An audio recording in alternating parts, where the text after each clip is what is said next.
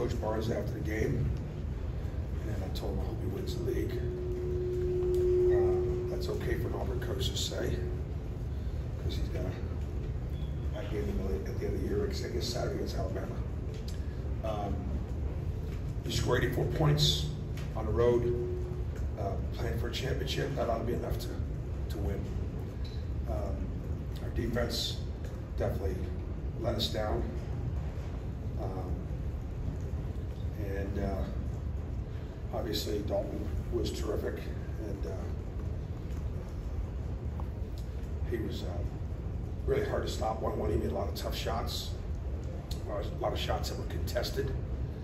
Um, probably disappointed in two things. One, when he went downhill, I thought there were times when we could have offered more resistance, more help off the ball. We didn't. And then uh, I thought that uh, I thought Zeigler getting downhill against us um, was a huge factor. Um, Legend Broome did everything he possibly could offensively. Um, and uh, we had some pretty good balance. Again, he scored 84 points in the area. He should be able to win. Questions. Raise your hand, please. Back there.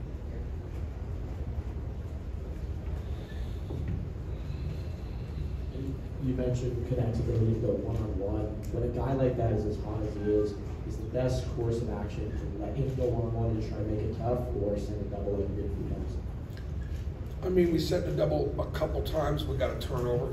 Um, we sent a double, you know, and one time he passed out of it and they got a dunk. You know, um, I think I think that uh, uh, I felt like we had guys that could you know could guard him, and uh,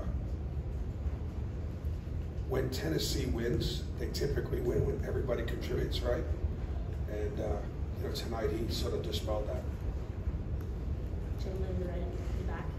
Coach, if you had to pick now, would you say Dalton Knecht is SEC Player of the Year? What I've always done and what I've always believed in is um, I've voted for the best player on the best team.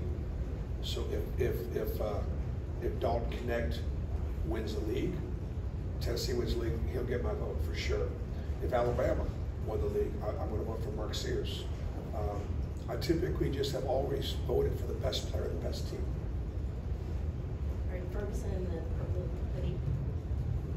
Bruce, you talked about the defense, and offense, though, no, no shots in the last, no field goals in the last few minutes. You see anything different from your guys on offense or what Tennessee was doing on defense? Kind of slow you down, had a really Say that, say that again, the last what? The, the last two fifty-three, you, you didn't have, have a field goal, but, you know, you guys had had a really good second half on offense. Did anything change from, from what you, what you saw down the stretch? I think you've asked and answered it.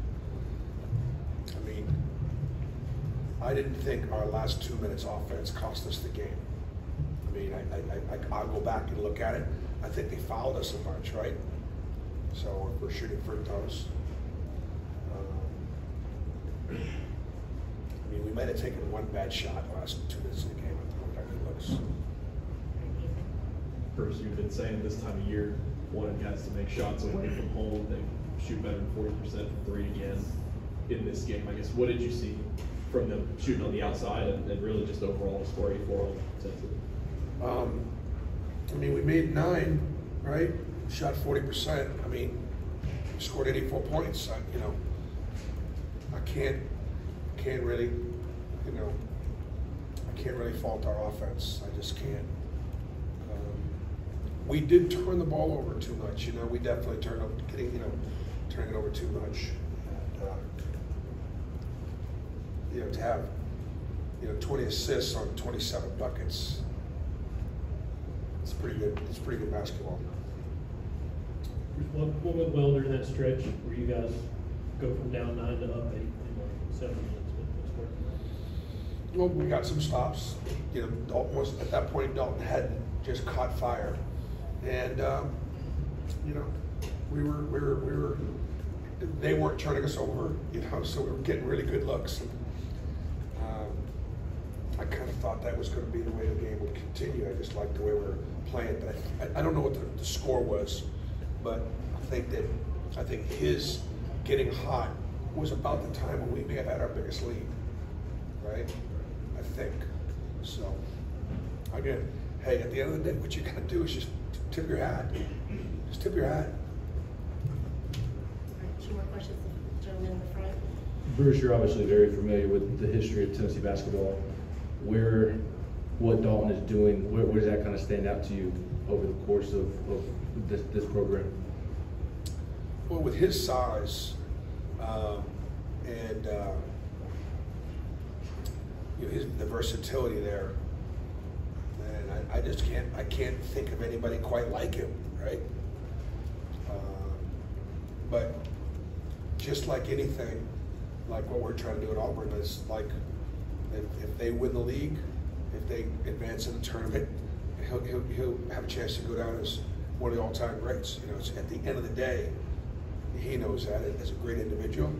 If this team can make a run, then he'll be he'll be talking about it for a long time. All right, eight PM in Ferguson with the last question. Coach, what made Broome so effective tonight? He's he's a handful down there.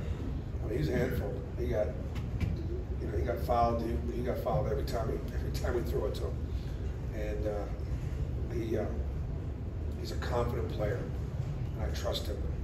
And he's clearly one of the best players in the league. He's one of the best centers in the country. Bruce Jalen was, you, you said game time decision, you get twenty-one minutes from Yeah. that, no turnovers, great line for him. Just how important was it for him to have a game like this in that, that return? Yeah, it would, we thought that, in other words, we, we, we were, we were looking at ten days to two weeks, right? So this was the ten-day window right here, uh, or it was, so, um, he practiced this week, and he looked pretty good, and he, he was, he was ready to go. Um, we, we, didn't start him, uh, I, my guess was, I thought he'd play about fifteen minutes, but, you know, we're playing for a championship, and he was playing well.